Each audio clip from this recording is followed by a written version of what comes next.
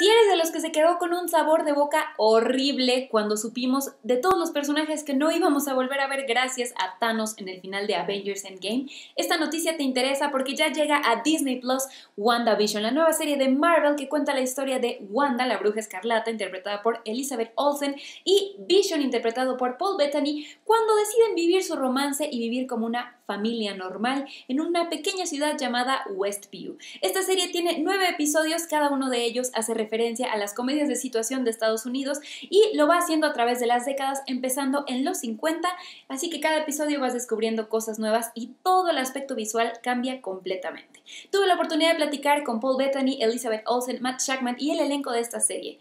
¿Quieres saber qué es WandaVision? No te despegues de este especial de película. what's a single like you doing rattling around this big house? Well, I assure you, I'm married to a man, a human one. Wanda. I think it's a very unusual uh, genre and it's a very unusual format. And I was wondering if you got yourself to to do some things and see Vision doing things that you never thought you would see on screen. Oh my god, yes. Uh, I, I was terrified of the whole thing. I mean, when I found out that we were going to shoot the first episode in front of a live studio audience, I really dug my heels in. I didn't. I did not want to do it. I, I was. Uh, I hadn't been in front of a live audience for 20 years, and and I was nervous. And uh, they, but they insisted, and it was absolutely the right decision um, because you you, you see in those shows they, they they pitch to somebody that is beyond the camera somehow and it has a it has a very different quality the acting and uh, and i think it was really helpful. I, I, think it is great. I think you did a great job. And you know this is ultimately a story about two unusual people who have to fit in in the regular world. And it kind of led me to think that you kind of have an unusual job as well. So I want to ask yeah. you, what has been the hardest part of fitting in in this, you know, Hollywood industry, being a movie star? I think um I think a lot of things. I think I think we all, especially with technology today and um, the birth of social media, our comparing brains work a little bit too much, and I think we do a lot of comparing um, to what others are doing. Um, and so I think that's been a genuine challenge of trying to remember, which I think kind of oddly, this whole time in the pandemic, when everyone had experienced the same thing at the same time for those first couple of months without figuring out work and things, um, we all just kind of had to settle into ourselves again. And um, and so I think that was that was kind of this nice reminder um, at that kind of weird still moment in time but um, that's a challenge i think is just shutting that thing off so that you can just keep going with your path. Jennifer and i live really quiet lives um, and have done we've been married for 18 years. And so we're very uh, which in hollywood is like 200 years you know so it's like dog years or something. But we we um we really we keep a very low profile you know uh, and so it's been it only gets weird sometimes. You know, it gets weird if you want to go to a beach and and uh, and you want to you want you you know you want to be there with your kids and people are taking pictures. That's weird. What side of this character did you get to explore? And also, as an actress, what did you get to explore uh, from your talent in, in WandaVision?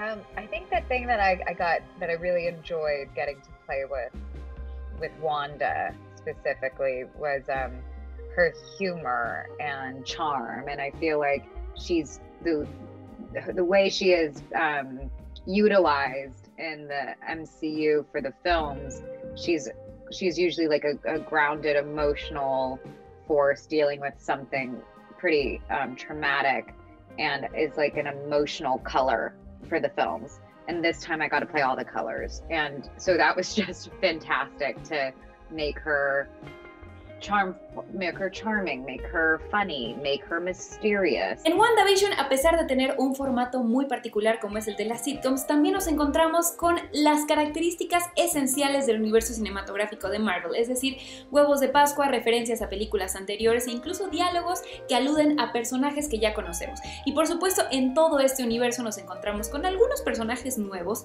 en la pantalla chica que no necesariamente sabemos cuál va a ser su desenlace, pero que lo vamos a descubrir en WandaVision.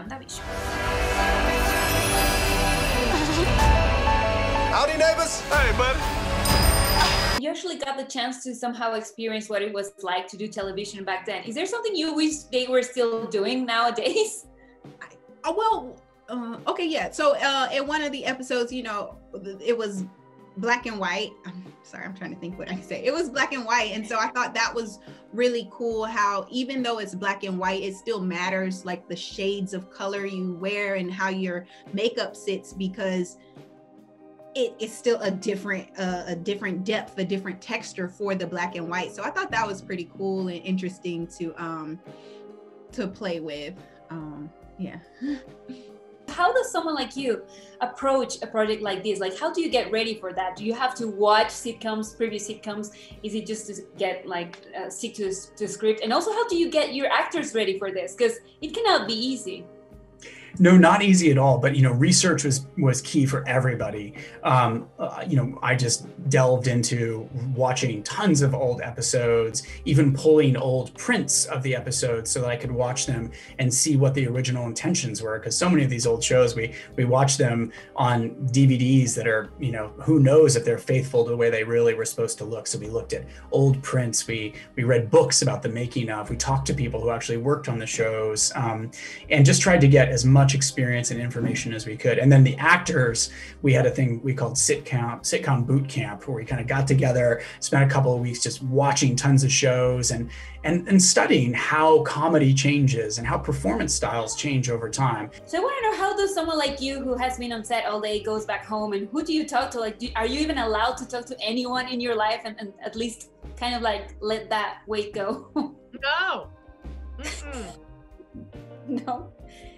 Do, do you get to read honestly, we didn't need to really i mean my you know there was no real need to like my um you know uh, uh we ju- we just played uh, we just in our you know in our minds as actors like we just played the play forward like we just kept kept moving forward in these decades. So it, di- it didn't feel like um and luckily in my life i didn't have people bugging me for too much intel and um uh you know nothing i do you know i'm a mom and the, you know it's your job as a mom to not be cool so my kids are not going to be asking me questions because they don't think they don't think I'm cool to begin with, so I didn't have to worry there. Cada viernes llegará a Disney Plus un nuevo episodio de WandaVision y tú no te pierdas los detalles en De Película. Yo soy Gaby Cam, nos vemos la próxima.